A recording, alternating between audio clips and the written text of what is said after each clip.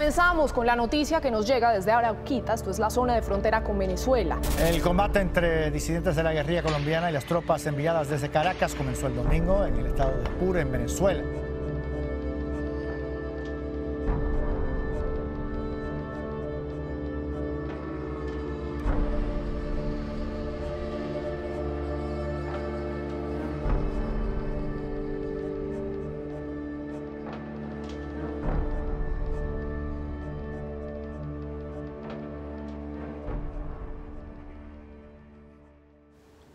The fact that the Colombian guerrilla is present in Venezuela is undeniable, especially after the violent events in Apure state. What this basically confirms is the, the fragility and volatility of the relationships between state actors and Colombian guerrilla organizations, which are mainly based on profit and shared illicit economies. What we actually see in the field is that when there are different non-state armed groups competing in a small area for the same illicit economy that sometimes the tensions become too much and state actors basically decide to favor one non-state armed actor above the other one. This can lead to violent frictions. If one wants to understand why the Colombian guerrilla is so interested in the Venezuelan territory, um, it's first of all very important to understand that there are some tacit agreements with the Venezuelan state uh, between guerrilla leadership and Caracas. But also we see that the Colombian guerrilla is increasingly interested in Venezuela to use the country as a drug trafficking corridor, basically as a trampoline for cocaine coming from Colombia. We also see that Venezuela is going through a period of, of a real mining bonanza. But in the end, the rampaging gold mining sector is run by non-state armed actors, with a very high participation of Colombian guerrilla groups. The behavior of Colombian guerrilla forces in Venezuela towards the local population is somehow similar to their behavior in Colombia, because they're trying to, to sweet talk uh, communities, to give presents to community leaders. And when communities decide they don't want to collaborate with the guerrilla groups, there might be consequences, sometimes violent, sometimes they just occupy the lands.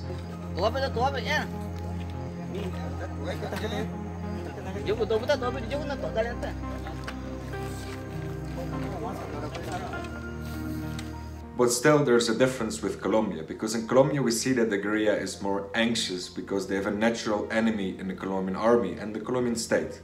In Venezuela, even though there are violent escalations, there is still some kind of a friendship between the Colombian guerrilla and the Venezuelan state.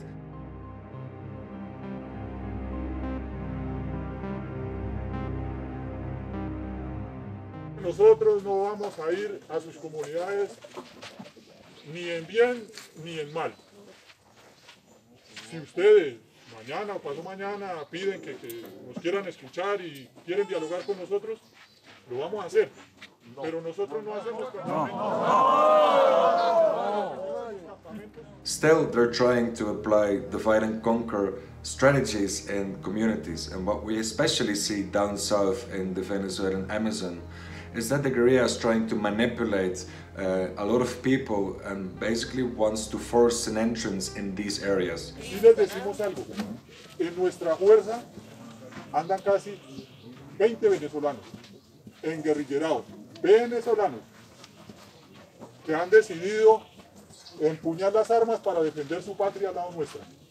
Nosotros no vamos a sus comunidades, no los molestamos y ustedes pues también nos respetan el espacio que tenemos acá. And what indigenous sources tell me is that there are deep cultural divisions caused by the presence of the guerrilleros in their territory. And of course, there's also a very big issue with environmental contamination because of the increased gold mining activities, which are destroying the natural habitats of ancient civilizations um, in the southern parts of Venezuela. We don't think that the violence immediately poses a threat to Colombia, and we think it's a very local issue so far. Nevertheless, what we've seen is that um, the Colombian government has sent more military to the border, as did the Venezuelan government. And the mere presence of an increased amount of armed troops along the borderline, because of the local struggles in Venezuela might generate more tensions between both countries. But the current governments of Ivan Duque in Colombia and Nicolas Maduro in Venezuela broke off diplomatic relations, which means that there is no line of communication to de-escalate growing risks of violence along the borderline. We strongly recommend both governments to do everything within their possibilities to re-establish a channel of communication to prevent the situation from getting worse.